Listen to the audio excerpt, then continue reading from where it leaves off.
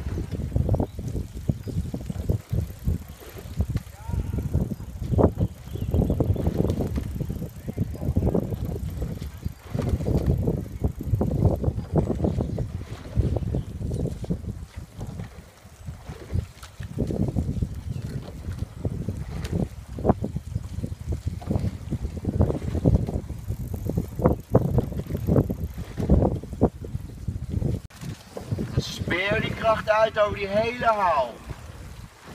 Zo lang mogelijk die druk houden.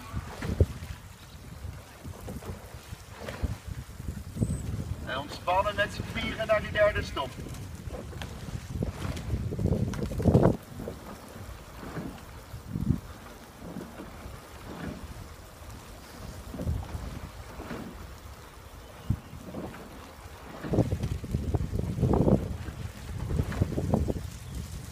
Ieder haal opnieuw die benen.